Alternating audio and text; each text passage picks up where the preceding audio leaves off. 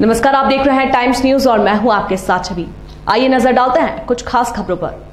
दिल्ली की कोचिंग संस्थान के बेसमेंट में पानी भरने से हुई तीन बच्चों की मौत के मामले में इंदौर में भी इस संबंध में सतर्कता बढ़ती जा रही है, जिसको संज्ञान में लेकर जिला प्रशासन के द्वारा जाँच करने के निर्देश दिए गए हैं, जिसके तहत नगर निगम के अमले के द्वारा विभिन्न इलाकों में कोचिंग संस्थानों की जाँच करने के लिए पहुँचे हैं, जहाँ बेसमेंट में क्लासेस लगाने को लेकर उनसे पूछताछ की गई, जिसमें कई कोचिंग संस्थानों ने बेसमेंट में संचालित होने वाली क्लासेस को पूर्व में ही बंद कर दिया।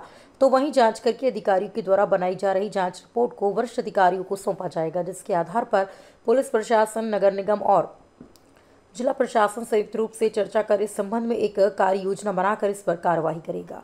वहीं बेसमेंट में संचालित होने वाली गतिविधियों को लेकर इंदौर पुलिस कमिश्नर राकेश कुमार गुप्ता का कहना है कि मुख्यमंत्री के निर्देश पर कलेक्टर के द्वारा एक कमेटी का गठन किया जा रहा है, जिसमें अपर कलेक्टर के साथ ही एसपी स्तर के अधिकारियों को भी शामिल किया गया है, जो इस तरह के संस्थानों पर जाकर सुरक्षा ऑडिट और बिजली ऑडिट करने का काम करेंगे और जब तक वहाँ पर नियमों के अनुसार व्यवस्थाएँ नहीं की जाती हैं तब तक वहाँ पर कोई भी गतिविधियाँ संचालित नहीं करने दी जाएँगी। अभी आयुक्त महोदय का सुबह मैसेज आया हुआ था कि जितने भी भवन अधिकारी हैं अपने जोन क्षेत्र में कोचिंग संस्थानों, होटलों और हॉस्पिटलों को चेक करेंगे कि बेसमेंट में किस प्रकार की गतिविधियाँ की जा रही हैं, उसकी सूची बनाएँगे। तो अभी मेरे द्वारा अभी दो कोचिंगों का निरीक्षण किया गया। एक कल्प कल्प वृक्ष कोचिंग सेंटर है जो गीता, गीतावन चौराहे पर है और दूसरा अभी साउथ टोगंज में अभी रेजोनेंस पर ही है।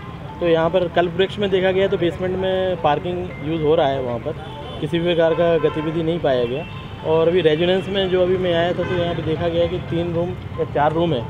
तो इसमें इनका कहना है डायरेक्टर साहब का कि विगत तीन दिनों से हमने यहाँ पर बंद कर रखा है।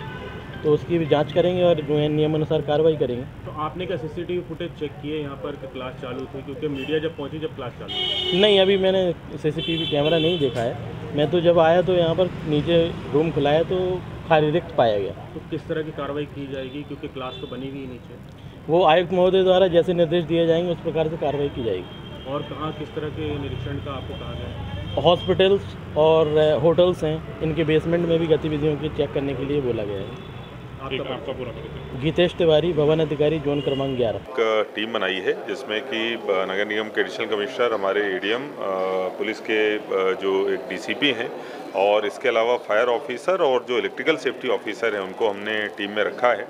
नगर निगम की तरफ़ से जो बेसमेंट हैं, जिनमें कोई इस तरीके की चीज़ें चल रही हैं, उनकी भी जानकारी इकट्ठी कराई जा रही है।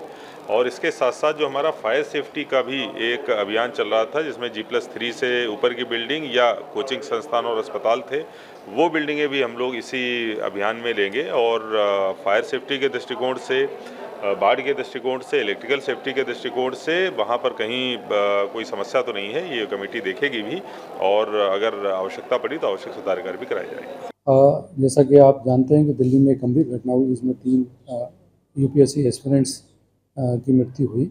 कोचिंग सेंटर के तलघर में पानी भर जाने के कारण ये घटनाक्रम हुआ।